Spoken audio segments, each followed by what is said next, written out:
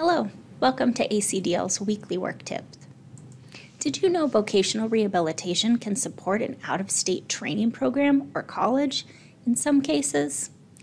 VR prefers to pay for in state services as a cost saving measure. However, if you have identified an out of state training or educational program that you need to reach your employment goal, you may be entitled to attend the more expensive out of state program. If there is no in state service that meets your disability related needs, or you need a particular out of state service because of disability, VR may be required to pay for that out of state training.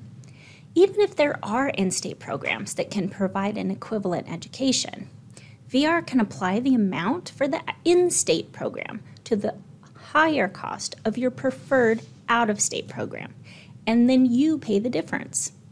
If you know that a certain program is best for you, don't let its location keep you from asking VR for help. For more information on this topic, see the links below. Thanks.